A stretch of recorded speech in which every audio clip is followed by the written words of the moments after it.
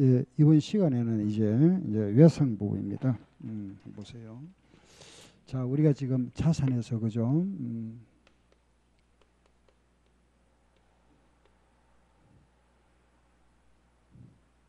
예, 주, 외, 상권, 기타 이게 자산이잖아, 그죠? 현금, 예금, 주식, 외상, 상품, 건물, 그죠? 우리가 이 자산 했죠, 그죠? 현금 및 현금성 자산.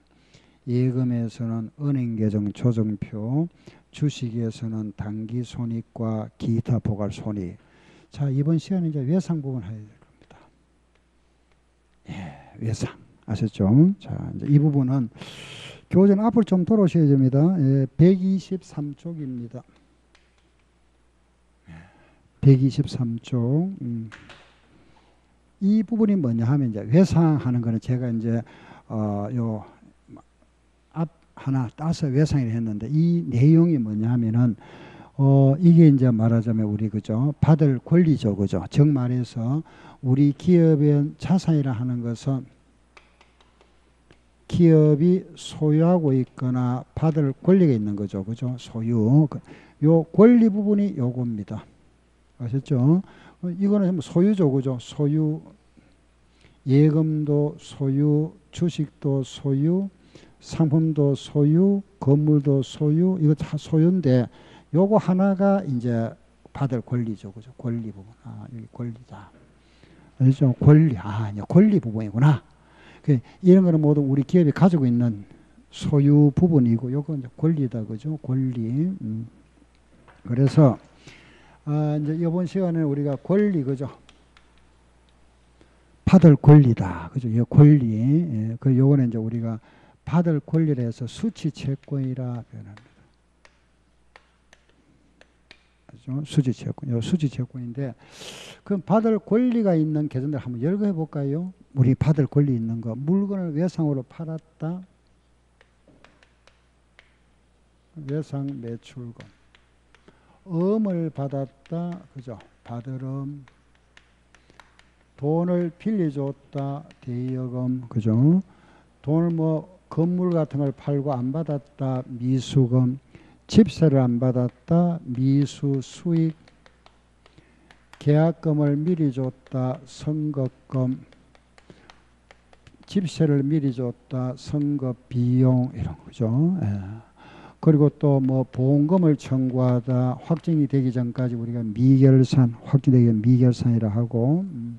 그리고 이 기타 이거 외에도 있죠. 그죠? 뭐 돈은 지급했는데 내용을 알 수 없는 거 가지급금 또는 뭐 그죠? 선대금 가불금 같은 거 등등.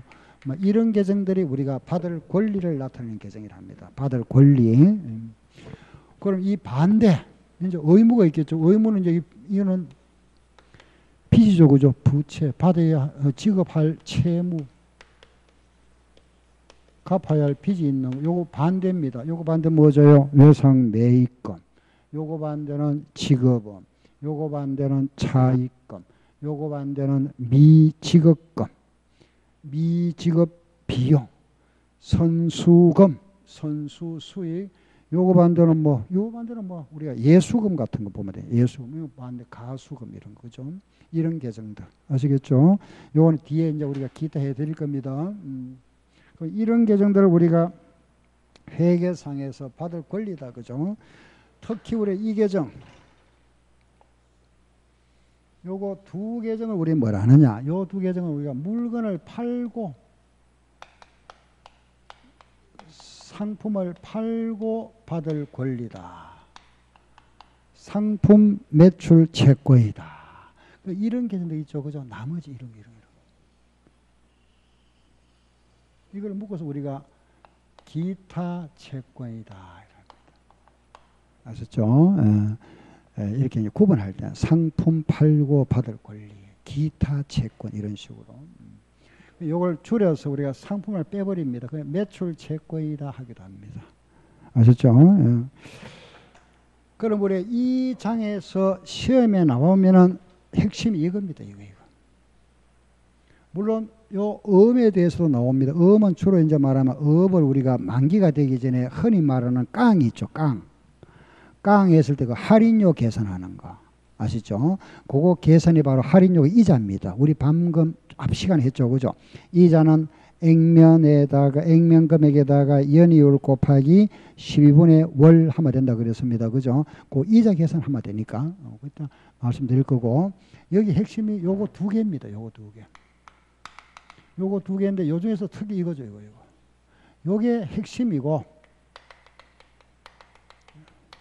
그리고 요거 하나. 나머지는 이거는 시험에 거의 잘 안 나옵니다. 또 낼 만한 뭐 객관식 낼 만한 자료도 별로 없습니다. 내용 쓰임 정도만 아시면 됩니다. 이게 자산 계정이라 하는 거 아시고 이거는 돈 빌려 줬다 안 받았다 이런 식으로 계정의 쓰임 정도만 아시면 되고 여기 우리가 정확하게 아셔야 될 거는 바로 앞으로 지금 요 계정 두 개입니다. 외상 매출금과 받으름 아시겠죠 그죠? 외상 매출금과 받으름 요 두 계정이 핵심인데 그 중에서도 특히 뭐다? 외상 매출금입니다. 이 계정. 요 계정. 요 계정이 언제 이 계정 나올까요?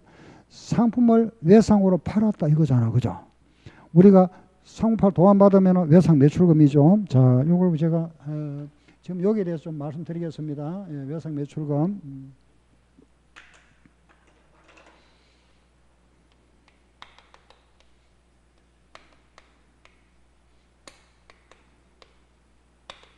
이거는 물론 이제 자산 계정입니다. 그죠?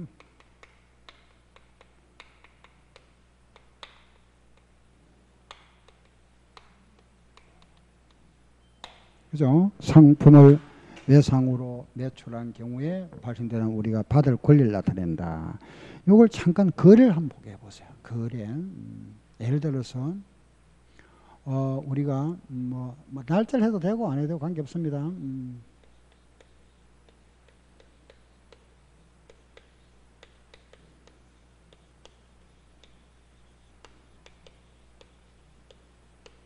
이런 거래에서 삽니다. 그죠? 상품 100원을 외상으로 매출하다. 외상 팔았다. 두 번째. 외상, 그 외상 매출금이 지금 100원 있죠. 그죠? 외상 매출금 중에 70원은 현금으로 회수하다. 자, 지금 외상 매출금 100원 중에서 70원 현금 받았습니다. 음, 세 번째. 그런데 지금 잔액.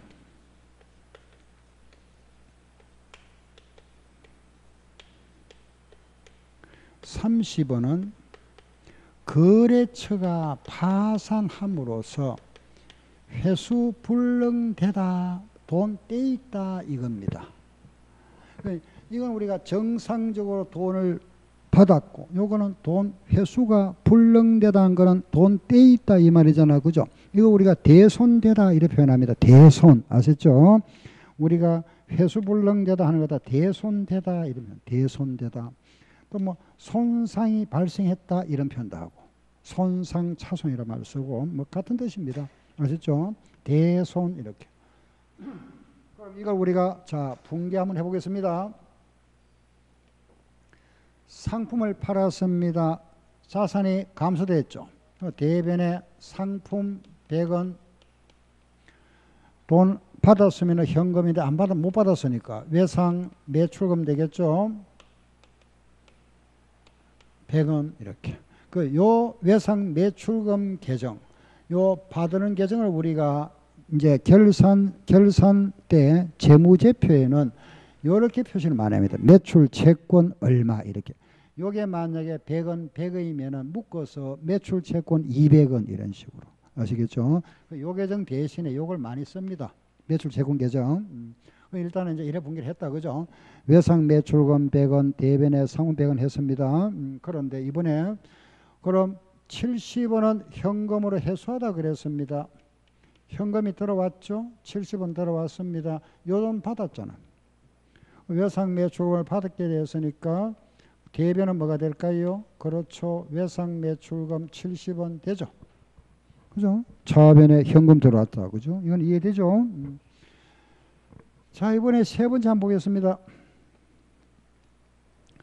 외상 매출금 지금 잔액 30원 남아 있는데 이거는 돈 못 받게 됐습니다. 일단은 받을 권리가 없어져 버렸죠. 그죠? 그러면은 대변은 뭐가 되죠? 외상 매출금 30원 되고 그렇죠? 음.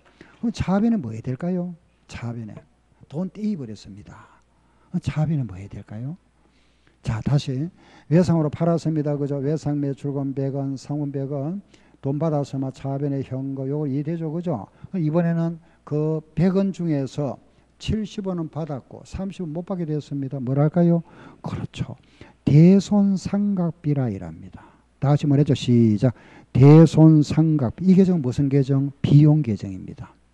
우리 항상 자산이냐 부채냐 수익이냐 비용이를 구분하셔야 됩니다. 알겠죠? 물론 이거는 모두 자산 계정이죠. 그죠? 이걸 뭐라 한다? 대손상각비라 이래 표현합니다. 이렇게 이렇게. 대손상각비 30원. 아시겠죠? 예. 자, 이래 했습니다. 자, 앞으로 잠깐 보세요. 자, 이거 잠깐 보세요. 우리가 기업을 운영하다 보면 사업할 때 우리 회사 직원들 나중에 퇴사하게 되면 퇴직금 줘야 되죠.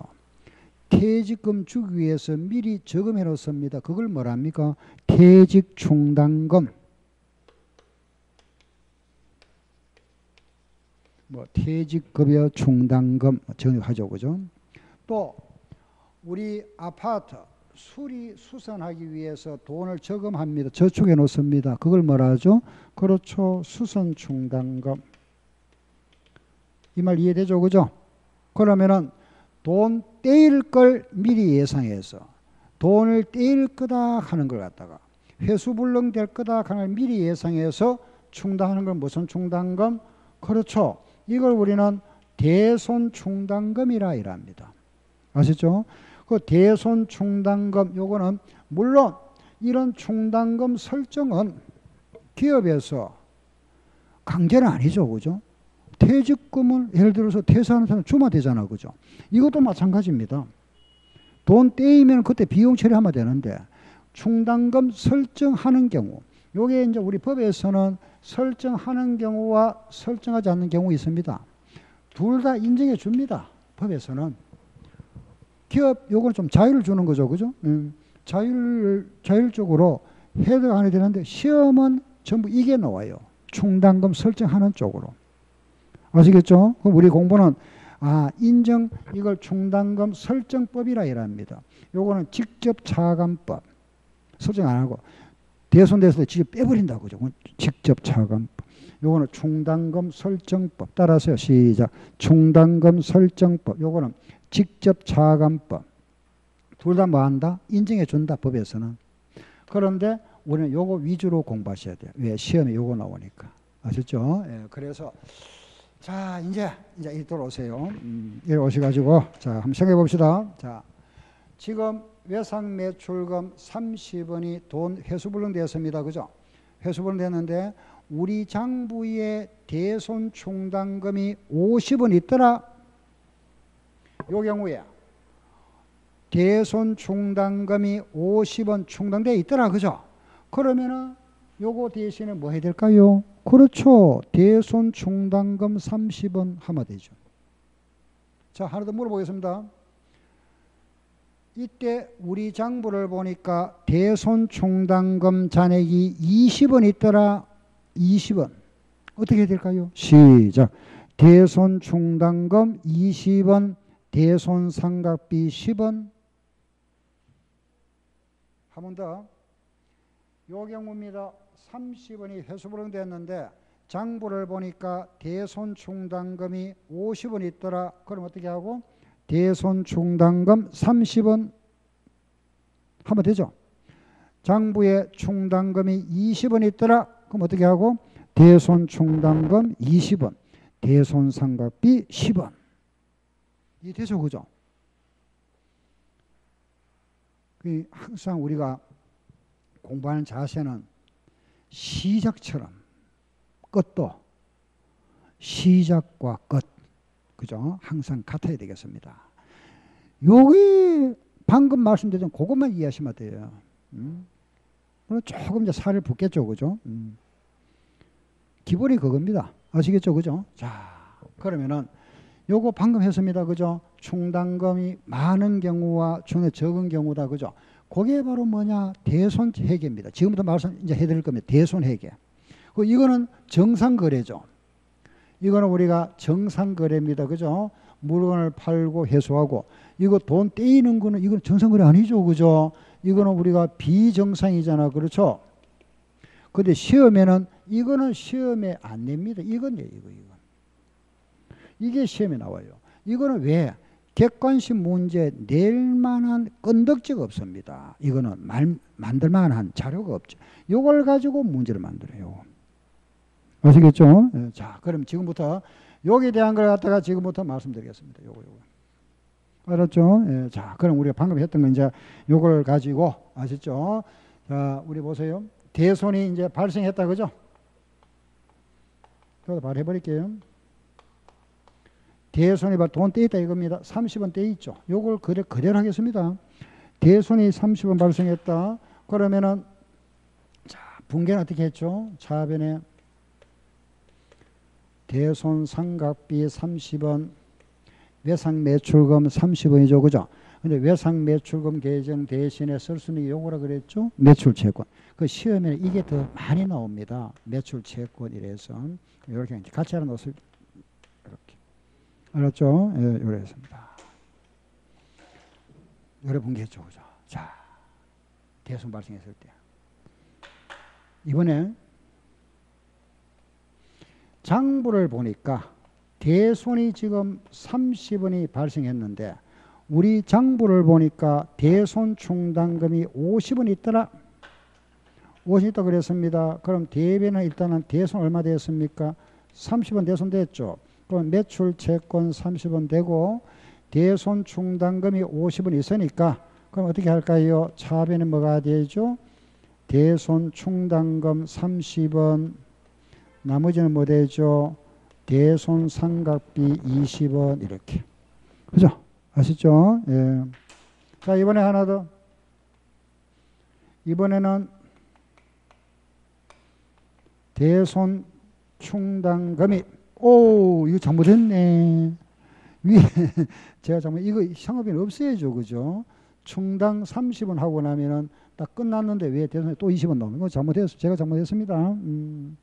자, 이번에는 보세요. 대손 충당금이 20원 있더라. 제가 잠깐 예, 다른 생각을 잠깐 하다가 혼도했습니다. 다시 충당금 50원 있다 그죠? 충당 30원 하면 끝나죠 그죠? 예, 20원 있다 그랬습니다. 그러면은 매출 채권이 30원이고 그 충당금이 20원 있으면 어떻게 하죠? 차변에 뭐가 되죠? 대손 충당금 20원 나머지 뭐가 되죠? 그렇죠. 대손 상각비 10원 됩니다. 그죠? 예.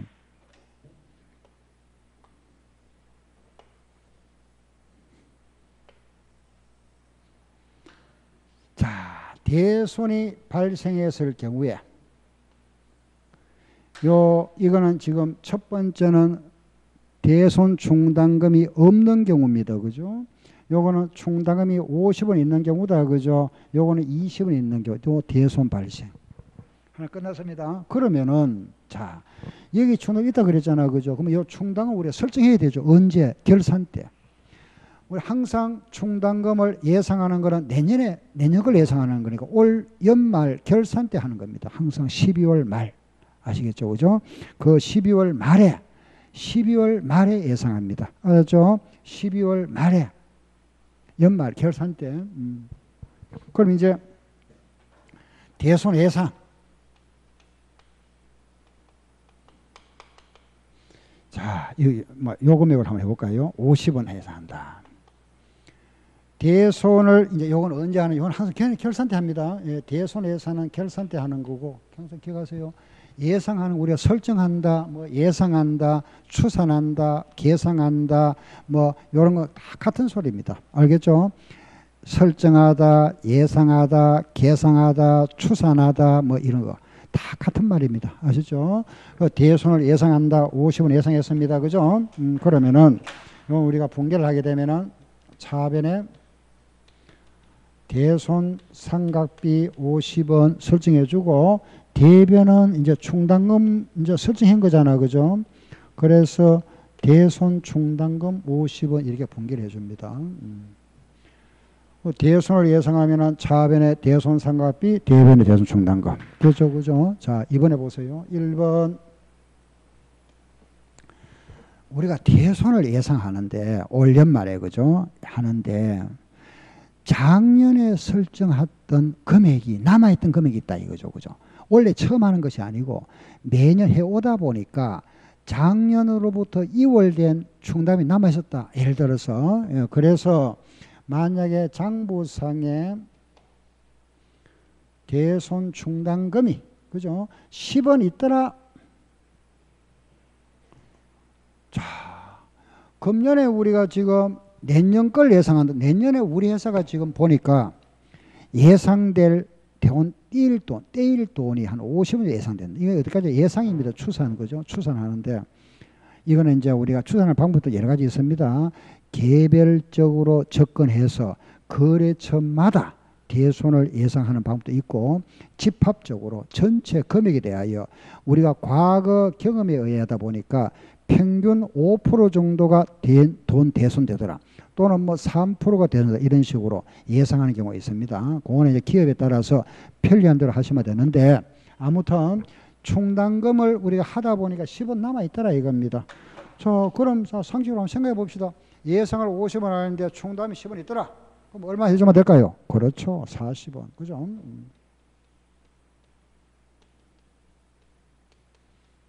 40원 해주면 되죠. 그럼 결과적으로 얼마가 되는 거죠? 50원 되는 거잖아. 그죠? 대선 50원 하는데 10원 있으니까 40원 더 추가했다. 추가, 추가. 그죠? 추가인 거. 자, 이 경우에 경우의 수가 다른 경우가 있겠죠. 그죠? 없는 경우도 있고 있기는 있는데 이번에는 대선 충당금이 70원 있더라 이겁니다. 알겠죠? 우리는 이제 금년에 외상으로 팔았다. 외상 매출금 팔고 나서 그 지금 예상값 남아있는 금액 중에 몇 프로 예상하다 보니까 장부상의 충당금이 작년에 넘어왔던 게 70원 있더라 70원. 내가 내년에 필요한 돈이 얼마죠? 50원 필요하죠. 50원 필요한데 장부에 70원 있더라. 20원은 그 필요 없잖아. 그건 다시 장부 회수해야 되겠죠. 당부상에서 장부 다시 수입으로 잡아버립니다. 수입으로. 그게 뭐냐? 환입이라 하는 거예요. 환입. 그래서 그러면 이 경우에는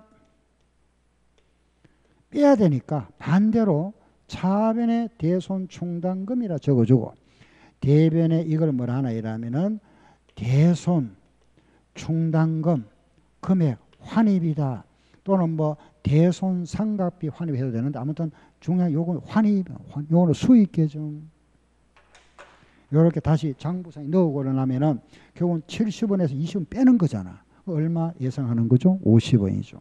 요거는 50원 예상한 거고 10원 있으니까 결국은 요래하니까 50원 하는 거고 70원 있으니까 20원 빼니까 결국 50원 되는 거잖아. 그죠? 예. 그래서 요게 또 뭐냐? 대손 예상이다. 이렇게. 그 대손 예상과 대손 발생까지 했습니다. 그죠? 대손 예상과 대손 발생까지. 두 개는 이해되죠, 그죠? 여기 핵심이고. 자, 이번에 이제 하나 더 있는데 그게 뭐냐 하면은 이겁니다.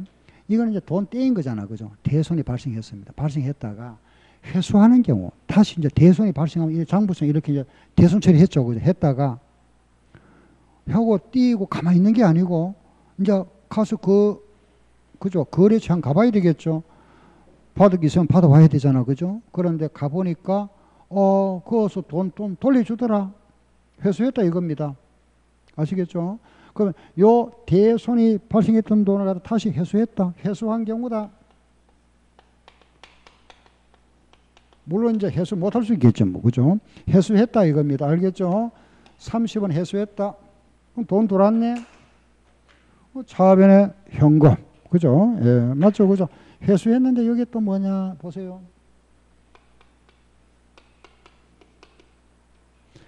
단기분 회수가 있고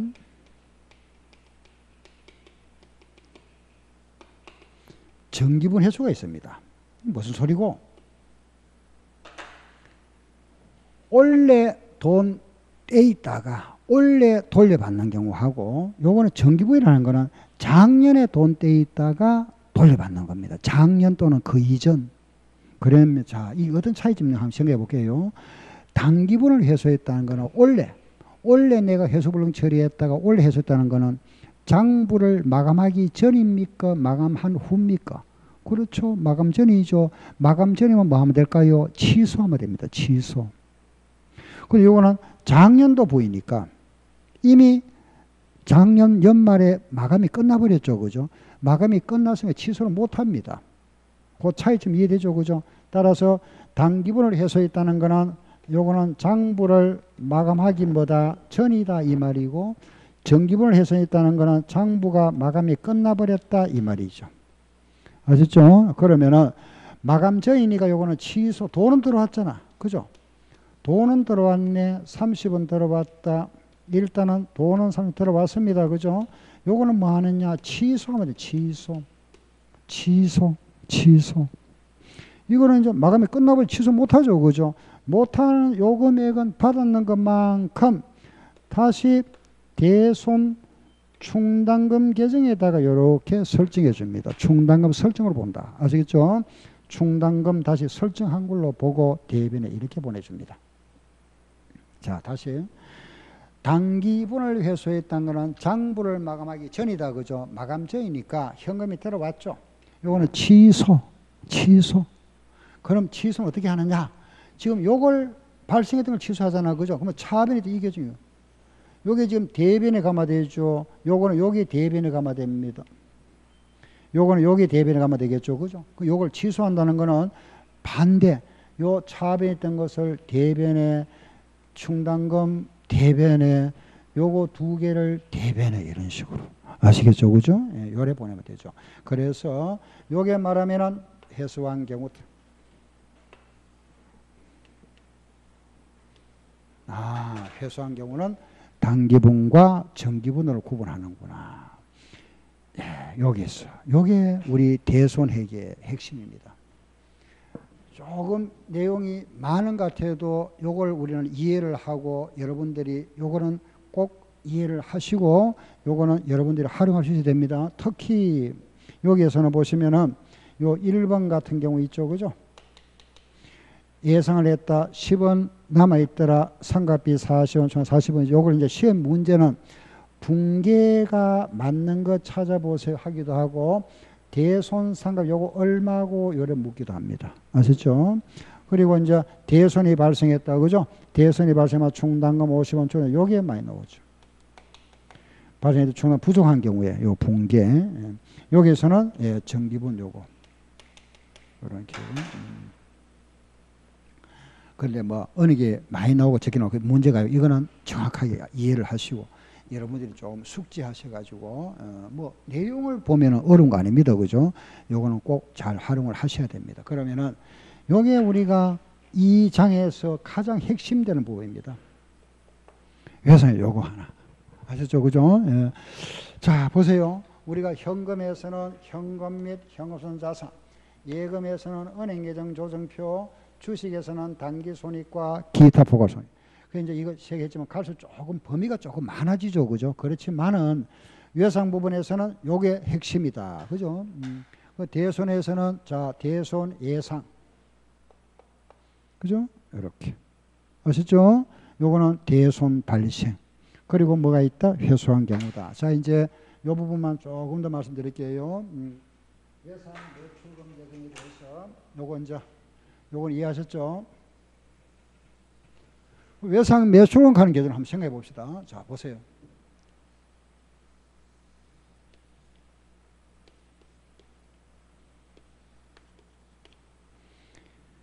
어, 1년 동안에 외상으로 팔았다.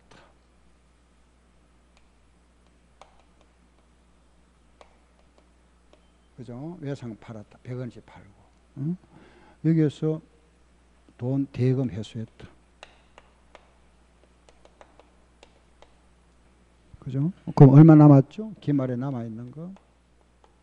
30원 남아있죠. 그럼 만약에 기초에 20원 있었다? 그럼 이거 얼마 남았겠죠? 50원이죠. 그죠? 요 관계잖아. 그죠? 예, 그래서 기초의 외상 매출금 20원에서 넘어왔는 거 작년도 외상값. 올해 외상 팔았습니다. 그럼 120원이잖아. 그죠? 그 중에 70원 받았다. 그럼 남아있는 거 50원 남아있지. 그 이걸 우리가 흐름을 이래 보시면은 앞으로 제가 매출 채권 계정을 할 겁니다. 기초 예상 매출 20원. 기말 50원. 예상으로 팔았죠? 100원. 대금 회수 70. 요게 같아진다 그죠? 차 대비니 같다. 아시죠? 음. 여기 항상 같은 기초 기말 매출 회수입니다. 예, 요 흐름 우리가 이렇게 생각을 이렇게 바꾸면 되죠. 그죠? 뭐 어려운 거 아닙니다. 그러면은 요걸 그대로 반대 외상 매입금을 한번 생각해 보시죠. 요거는 외상 매출금이고 외상 매입금이라면은 이게 기초가 반대되죠. 부채니까. 예. 기초에 만약에 외상값 갚아야 될 돈 20원 있었고 외상으로 내가 사왔답니다. 부채가 늘어났죠. 120원 중에서 내가 갚아줬습니다. 70원 갚았다. 그럼 기말 현재 외상값 얼마 남아 있습니까? 50원 남아 있죠. 이게 같아지겠죠. 그죠? 예, 같다. 아시죠? 그죠? 예. 여기 항상 같아진다. 요 계정과 요 계정. 이게 문제 또 객관식 문제, 가로넣기 문제 나올 수 있는데 가로넣기 이렇게 가로넣기. 알겠죠? 예. 자, 여기서 이제 하나 하나 더 해볼게요. 음, 요거는 여기 관련되는 문제는 또 다음 시간에 또 문제 접하면서 문제를 한번 우리가 접해보면서 또 이해하도록 하겠습니다. 일단은 보세요. 요 외상 매출금이 지금 받을 돈 50원 있죠? 요 중에서 못 받으리라 예상되는 거. 이걸 우리 뭐라 한다? 대손 충당금. 요 못 받아 예상되는 걸 빼고 나면은 40은 요건 받을 수 있는 돈이죠. 내 주머니 들어올 돈이죠. 요걸 우리 뭐라 하느냐? 순 실현 가치다 이래 부릅니다. 아시죠? 다시 기말에 외상 매출금에서 돈 떼일 돈 10원을 빼고 나면은 알겠죠? 순수하게 받은 게 뭐다? 순 실현 가치. 기말에 받을 돈 외상금에다가 대손 충당금 못 받으리라 예산이 빼고 나니까 요거다. 순실행 가치. 아시겠죠? 그죠? 예, 그래서 자, 우리 이제 외상 매출금에 대한 기본에서는 오늘은 대손 회계까지 했습니다. 그죠? 대손 회계 요 부분. 오늘 오늘 공부 많이 했습니다. 그죠? 예, 우리 자, 현금에서 예금, 주식 부분, 외상 부분까지 했죠. 그러니까 이 부분은 조금 더 우리가 어, 요 대송 관계에 대해서는 조금 더 문제를 조금 달아보셔야 되겠죠. 그죠? 실전 우리 또, 어, 기본적으로 요걸 꼭 이해를 하시고, 알겠죠? 예, 여기까지 같이 좀 이해를 해 주시고, 예, 다음 시간에 여기에 대한 또 문제를 가지고 한 번 더 또 정리하고, 어, 그런 시간을 갖겠습니다. 오늘 수업은 여기까지 하고 마치겠습니다. 수고하셨습니다.